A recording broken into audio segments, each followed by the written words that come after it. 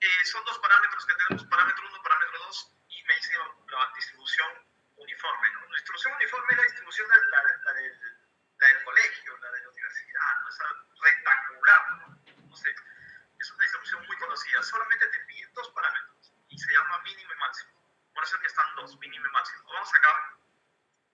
Me ubico en celda, me ubico acá, en la celda. Primero me ubico en la celda y luego me voy a la parte de distribución y definir, ¿no?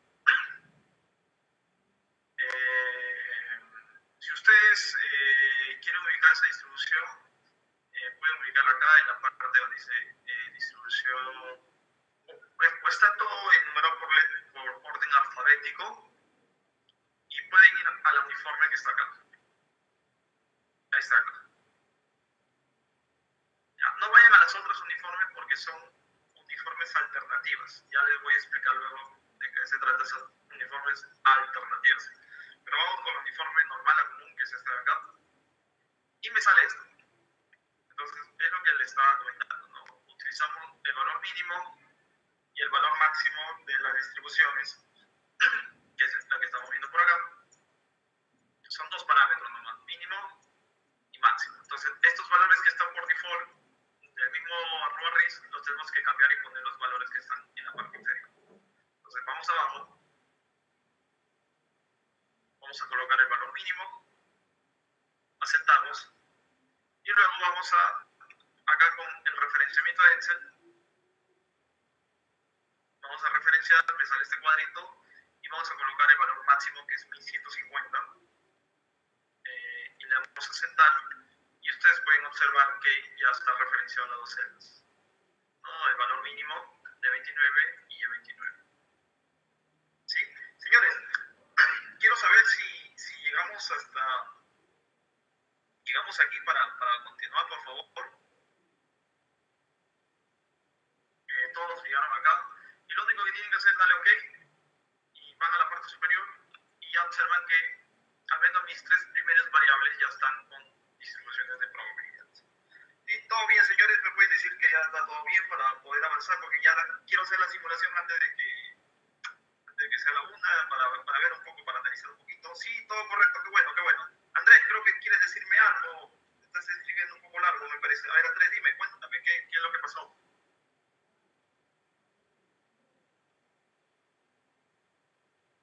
Sí, sí, sí. sí, eso, el factor de desplazamiento.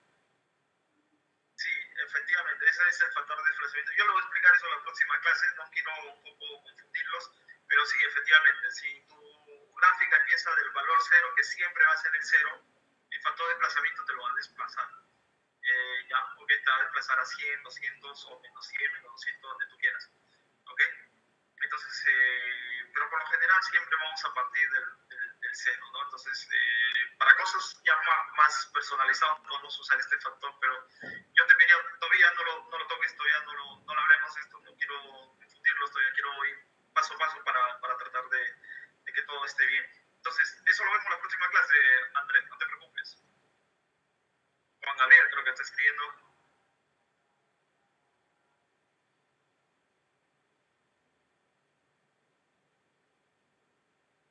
¿Cómo, cómo cuál es, Juan Gabriel? No entiendo, dices, hay otras celdas que se pueden llenar para describir mejor la variable. ¿A qué, a qué te refieres? Ah, ya, ya, ya, ya. Sí, sí, sí, sí, sí, ya te entendí. Eso lo vamos a ver en la próxima clase igual. Eh, ¿Te refieres a esto de acá? A esto que está acá, ¿no? Ah, ya, ok. Sí, es más que todo para describir un poco la, las variables, o sea, el nombre. Eso, no, eso es algo nuevo, ¿no? Nombre, categoría, de repente quieres ponerle sea, quieres ya ir al detalle, detalle de la variable, lo puedes colocar, no hay ningún problema. Si es para describir un poquito mejor la variable, lo vamos a ver igual en la próxima clase para detallar esas cositas que son muy importantes. Eh, que, que, es nuevo, esta es la versión 8, la versión 7 eh, no tiene eso, no tiene eso definitivamente. Pero sí es para describir un poquito la, más, más la variable, creo que esta información la han colocado debido a que Palizade ha hecho una encuesta a nivel mundial de estudio de mercado sobre todos sus clientes y creo que le pidieron un poquito más de detalle, por eso es que se han colocado estas celdas. Pero en realidad lo principal son el tipo de distribución y, y los parámetros, ¿no? Eh, ¿Correcto? Sí, Juan Gabriel, yo creo que eso lo vemos en la próxima clase para no andar, quiero hacer un poquito la simulación antes de que termine ¿Todo bien, Juan Gabriel? Perfecto, Juan Gabriel, ok. Qué bueno, qué bueno. Me, me alegra mucho de que estén atentos también. Y, y esas son las cosas nuevas de la RORES 8.0. Eso no existía antes. ¿ah? Y lo vamos a ver ¿ah? en, la, en, la, tercera clase. Van a poder visualizar que hay cosas que no habían en la versión de, de ahora. ¿no? Bueno, señores, para hacer esta famosa simulación, eh, bueno, ya tenemos nuestra variable de entrada. Yo creo que las otras variables también las podemos asignar, pero por tema de tiempo,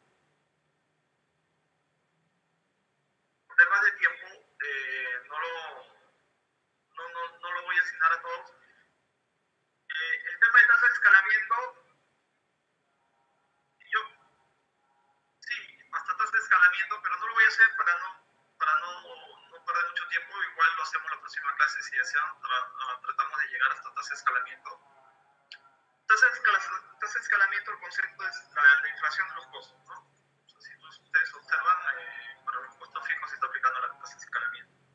Pero eso ya lo, en realidad, con tres variables es suficiente como para correr la simulación y ver un poquito los, los eh, a ver, a ver, a ver, a ver, eh,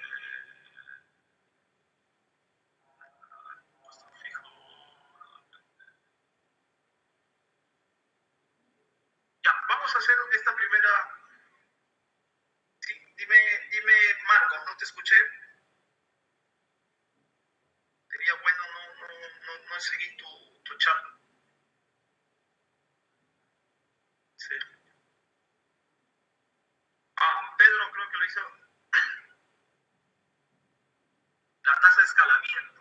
Ya, a ver, la tasa de escalamiento. Ya quieren ver la tasa de escalamiento, entonces es costo. Eh. Ah, la no normal, ya. Eh, bueno, la tasa de escalamiento es. Ah, ya lo hizo todo hasta tasa de escalamiento. Ah, ok, ok. Pedro va a avanzar más rápido y lo hizo todo. sí, la realidad es hacerlo todo, yo también lo puedo hacer rápido, verdad. Para mí no, no hay ningún problema. Yo lo puedo hacer, se los pido a ver si es que ustedes pueden hacerlo rápido. Por ejemplo, costo variable es una LON normal. Entonces acá no había distribución, definir distribución. Eh, recientemente usado, lo normal. No hay ningún problema, no lo,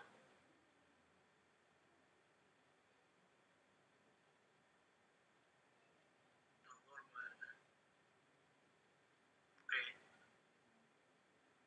Y luego este de acá, ¿no? Ya está. Eh, yo, yo quisiera continuar hasta, hasta, hasta más, hasta todas, pero eh, yo voy a tratar de, de llegar a, hasta aquí nomás para, para, avanzar un poco, porque sí quisiera, quisiera un poquito eh, que vean los resultados. Quiero que hagan una simulación antes que se vayan, por favor, no se vayan. Eh, entonces ya tenemos la distribución de entrada. Eh, si lo hicieron todo excelente, por mí excelente. Yo lo, eh, vamos a, a, al valor presente neto, y son nuestra variable de salida. Por favor, a esta variable valor presente neto, ubíquense acá, solamente en el banco, nomás ya después vemos la tip. Y vayan a esta función que se llama output. Este resultado, variable de salida. Acá le dan donde dice output y le dan donde dice definir. No remover, sino definir.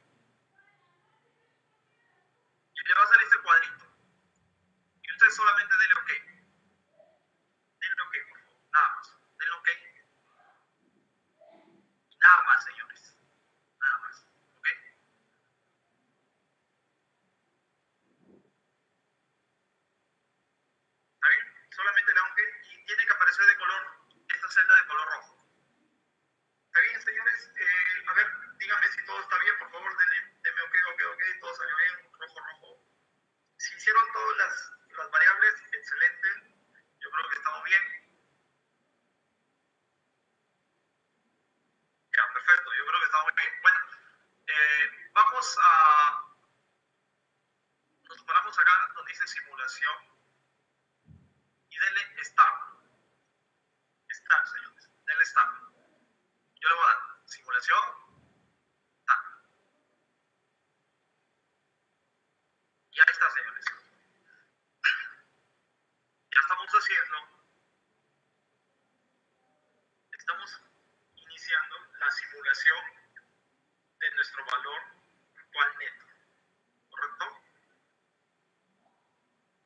simulando la, el valor actual neto asociada a la distribución de probabilidad de nuestras variables de entrada.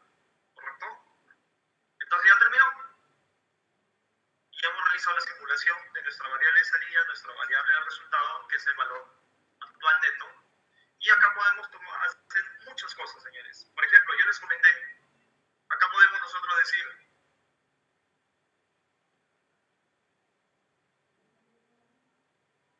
acá por ejemplo nosotros podemos decir, ¿cómo este es el MAP? Entonces acá podemos decir, señores, ¿cuál es la probabilidad de ocurrencia de que mi VAP sea mayor o igual que cero? Esta es la probabilidad de que el proyecto sea rentable. ¿O cuál es la probabilidad de ocurrencia de que el VAP sea menor que cero? Ya cuando es un proyecto no rentable. O sea, acá ya puedo hacer todo ese tipo de análisis. ¿Cuál es la probabilidad de ocurrencia de que el van sea mayor o igual que cero? ¿Cuál es la probabilidad de llegar al van estimado? O sea, el van de, de, de, de la estimación inicial o cuánto puede ser. Y luego también puedo hacer los análisis de tornado, un poco para ver cuáles son las variables más importantes. A ver, ¿cómo hago eso? A ver, señores, ustedes ven acá y ven en la parte superior menos 2977 y 2520. Aquí, por favor, yo les permito, les, les digo, acá, ubíquense acá menos 1977 y ven que está señalado como azul, ¿no? Porque ya me he colocado, y denle el valor de cero. De nuevo, y denle cero. El menos cero debe aparecer cero acá. Todos, señores, ubíquense acá cero.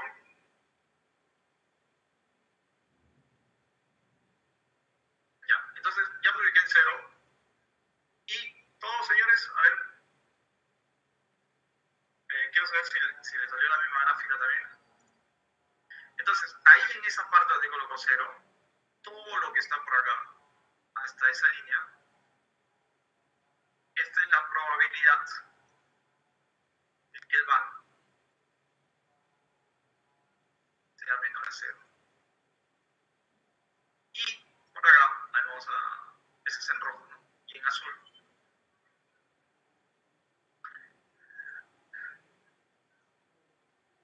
Sigue simulando Carlos Boicochea. ya ahorita te voy a decir cómo hacerlo más rápido, ¿ya? Ahora te digo, te digo. Esta es la probabilidad de que el van sea mayor a cero. ¿Correcto? Entonces, todo lo que está acá, este es el cero. Entonces, todo lo que está por mi lado izquierdo y todo lo que está por mi lado derecho está acá. Esta es la probabilidad, a ver, eh, esta es la probabilidad de que el van sea menor a cero y esta es la probabilidad de que el van sea mayor o igual que cero. Igual al mío, sigue simulando. Ya, mire señores, a ver, para que sea más rápido, eh, yo voy a simular de nuevo. ¿Y por, qué, ¿Y por qué el mío salió más rápido, no? Mire, esta simulación. Ya.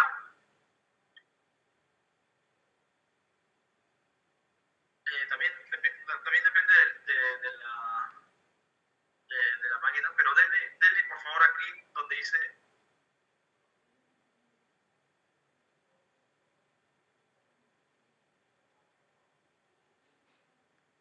el mío simula en 25 segundos.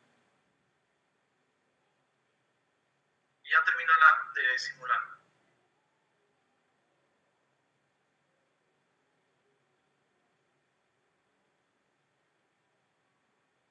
Ya, para que, para que simule más rápido, acá miren bien, ustedes se ubican acá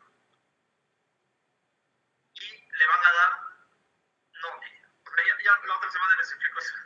Denle no, o sea, no modo demo, sino que no aparezca eso, para que sea más rápido. Ya, ya la otra semana les explico un poquito. Sí, sí, le he puesto 5.000 iteraciones. Ya también la otra semana vamos a ver también sobre la cantidad de iteraciones. He tratado de no, de no, de no, de no tocar todos esos temas, pero ya le voy a explicar qué cosa es una iteración, por qué 5.000 iteraciones, por qué no utilizamos 10.000, 50.000 o 100.000 iteraciones, ya lo, lo, vemos la otra, la otra semana, todavía no, todavía no quiero entrar, pero tratemos de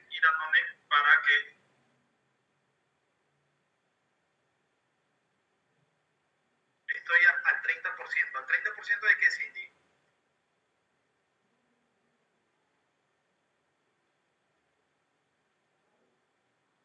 Ah, mire, si quieren que corra más rápido, traten de darle, por ejemplo, mil iteraciones nomás. Acá, en donde dice iteraciones, traten de colocarle mil iteraciones para que sea más rápido.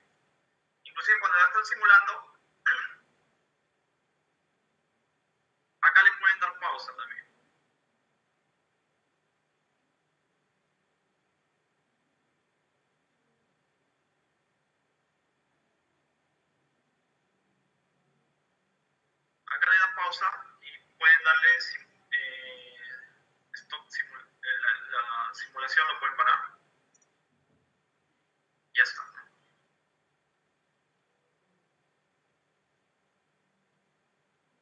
quiero saber si, quiero saber señores, si es que todos llegamos a este resultado, por favor, o sea, llegamos a, tener eh, la, la, distribución de probabilidades, todos por favor me pueden indicar. Andrés, ¿tú ya, ya te salió Andrés? ¿Quién, quién, quién, quién ya terminaron? ¿Quién? Me gustaría saber quiénes eh, ya eh, terminaron la, la, la, corrida, me parece que todos ya. Ok, Ernesto, Cristian, Andrés, eh, Aurea, Herbert. Sí, también depende un poco de la, de la potencia del celular. El mío es una Corel i5 novena generación, ¿no? Ah, qué bueno, mira, Pedro Mucha me está diciendo más menor a 0 45.5%. Qué bueno, qué bueno.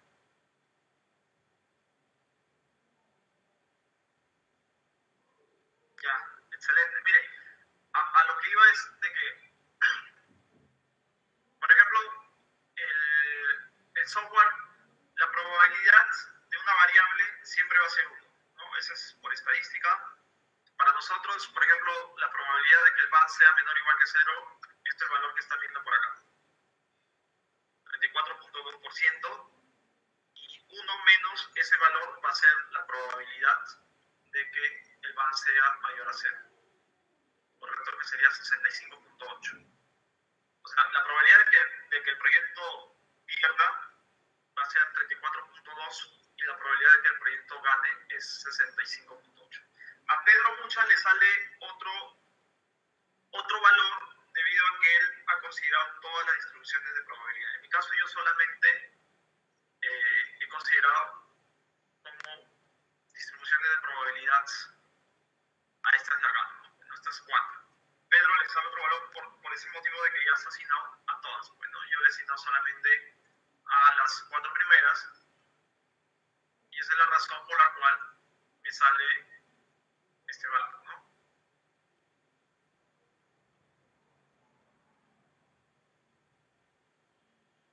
El valor que están viendo. Ah, ya, si quieres ver la gráfica, anda. No, no, tú presionas no ne, eh, haces la simulación, ya, ya está la simulación, y luego te vas acá donde dice Explorer, y, y acá en la parte de acá dice, en inglés dice mostrar resultados. Explorer, o sea, haz, simulas primero, o sea, primero tienes que simular, estar, simul, estar eh, iniciar simulación, y luego te vas acá en la parte que dice Explorer y le das eh, mostrar resultados. Cuando, cuando, tú no tienes el resultado, tienes que darle mostrar resultados y te va a aparecer el cuadro. A ver, dime si te salió, por favor. Quiero saber si toditos los que están presentes, a todos los presentes, por favor, me dan un ok si es que está todo bien, tienen alguna duda. Eh, el análisis ya va por acá. Este es el análisis. ¿no? Eh, por ejemplo, yo me, me, coloco el cero y a partir de ese cero, en este caso el banco, eh, yo puedo decir, oye, la probabilidad de ocurrencia de que el proyecto sea menor o igual que cero va a ser eh, 34.2 y mi proyecto para que sea eh, rentable va a ser 65.8. ¿no? Por acá está lo que es y por acá están los proyectos que son no rentables, porque el BAN el BAN, de acuerdo a la teoría financiera, corporativa, de proyectos, el BAN tiene que ser mayor a cero. Sí, todo bien, señores, me parece que todo está ok. Qué bueno, qué bueno, me alegra mucho, señores, que...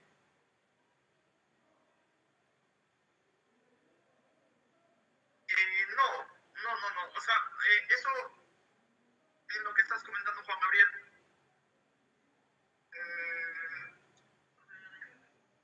menos simulaciones significa menos iteraciones y menos iteraciones es tomar menos valores de la muestra. La muestra, hablamos de la muestra de las distribuciones de entrada. Eh, yo eso lo vamos a, a, a, conversar un poco la, la, próxima semana sobre el tema de las iteraciones. Eh, quiero conversar con ustedes esas cosas para que vean realmente qué tan importante llegar a una cantidad de iteraciones mínimas considerables para llegar a unos valores eh, estadísticos y que me permita hacer un análisis adecuado. Yo, eh, la cantidad de iteraciones eh, lo vamos a ver la próxima semana. Yo, déjenme por favor conversarlo en la próxima clase. Y, y sí, pues hay una cantidad eh, que nosotros, eh, un poco los estadísticos, lo, lo, conocemos como los valores de convergencia. ¿okay? Entonces va a haber un punto de convergencia eh, donde hay una cantidad de iteraciones mínimas a considerar para llegar a ese valor. Así que eso lo, lo conversamos la próxima semana. Eh, yo quiero saber si es que, menos, al menos esta clase al menos está todo, todo correcto, todo ok, se entendió. Yo espero que eh, un poco hemos hablado un poco de, de teorías de riesgo. igual vamos a seguir hablando mucho, pero vamos a tratar de hacer más interacciones con el software. Eh, yo creo que de aquí para adelante no vamos a parar.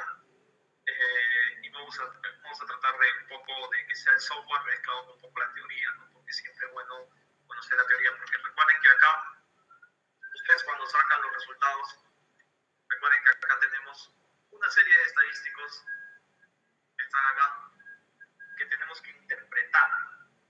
¿ya? Entonces,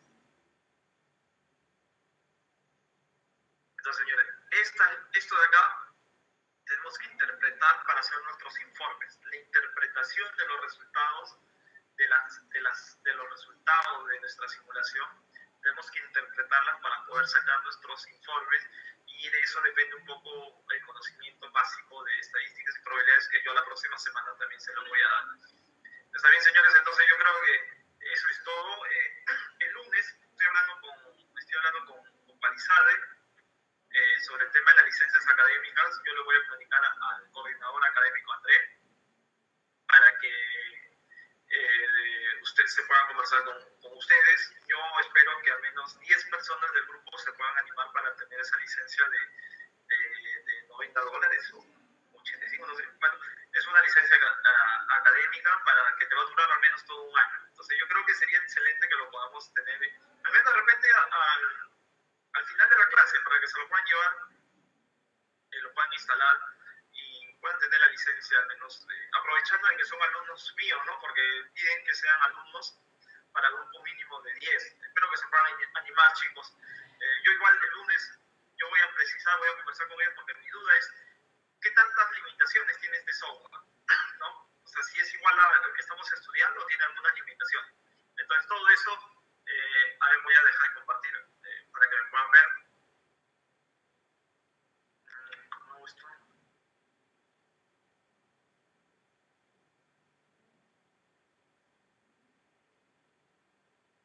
voy a mostrar mi cámara.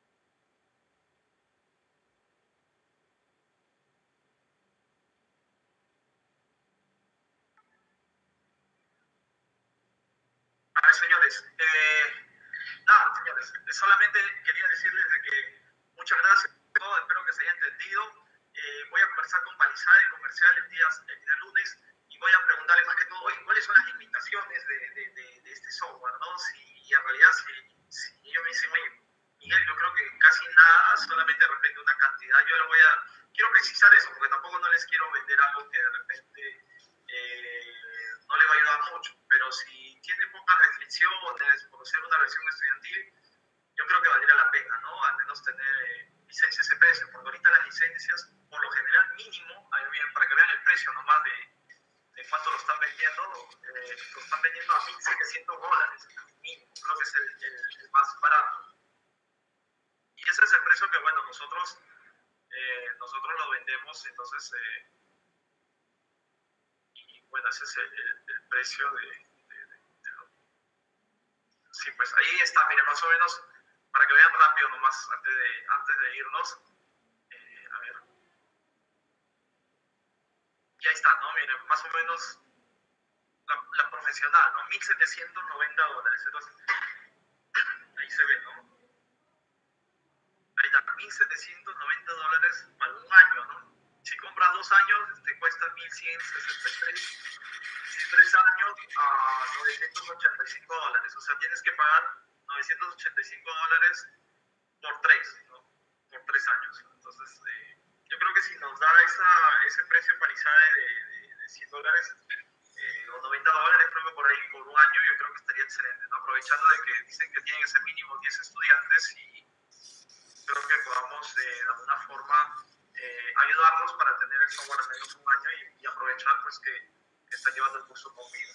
Entonces, que el día, sí, a más años se paga menos, pues sí, así, así es eh, la forma como ellos tratan de, de alguna forma de, de amarrar al, al consumidor para que puedan tener por más tiempo el software eso pues es la forma como están trabajando. Así que el día lunes yo le voy a mandar la información más exacta, ya me mandaron los precios y todo ello, pero le voy a mandar la información más exacta sobre las características de esta versión estudiantil.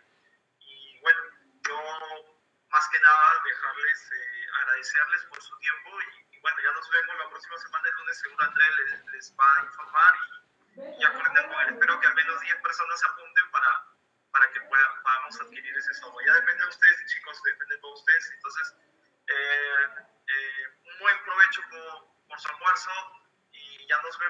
día sábado fuerte abrazo, chicos. Cuídense, cuídense y buen fin de semana. Buen fin de semana a los amigos de, de, de, República Dominicana y de Ecuador y bueno, de todo Perú que estamos luchando por salir adelante, muchachos. Cuídense bastante y nos vemos el próximo sábado.